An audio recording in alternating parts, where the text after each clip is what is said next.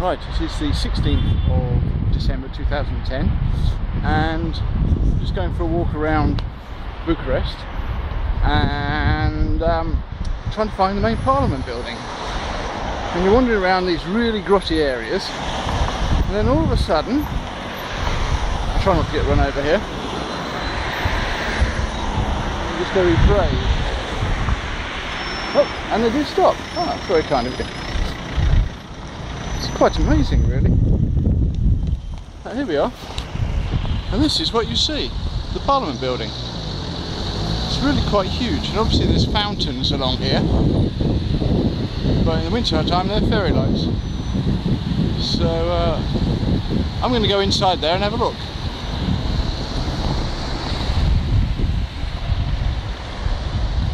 And these zebra crossings you just launch yourself onto them and um, see how you get on really because it's uh, they'll come screeching to a halt which is a, sort of a bit alarming but there we are.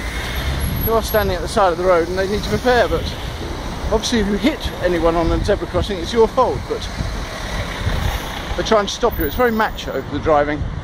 Bit Italian but then they are Romanians. There we are. Last view of it that's impressive. Right, I'm going to go and try and get inside.